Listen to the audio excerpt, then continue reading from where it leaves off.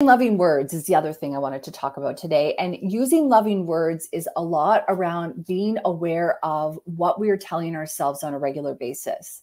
The average person thinks between 60,000 and 80,000 thoughts a day. And when we're having these thoughts, very often it's like 80 to 90% of them are reoccurring the same type of thought. When we're having these thoughts, what we're doing is we're essentially bathing ourselves in negativity. We're bathing ourselves in fear. We're bathing ourselves in worry. And what happens when we do that? Well, all of a sudden we start feeling low energy. We start feeling negative.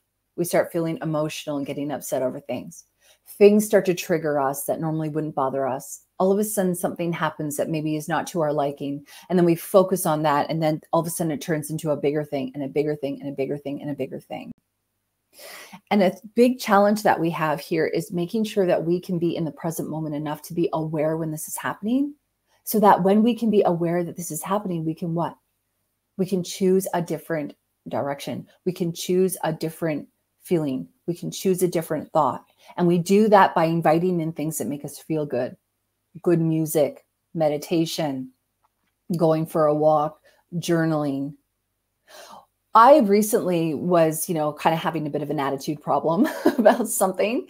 And I was like, you know, I knew I needed to get into the office and go ahead and do some work. And I thought, you know what? The last thing that I want to do right now is come and share my message with the world and work on my business when I'm having a bit of an attitude problem. So, what I did, I went outside, I sat on the deck, I sat in the sun, I did a bit of meditation, and I reset my mind.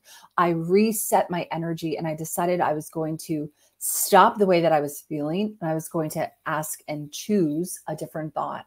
And that's what I did. And then what happens is all of a sudden things start to flow naturally again.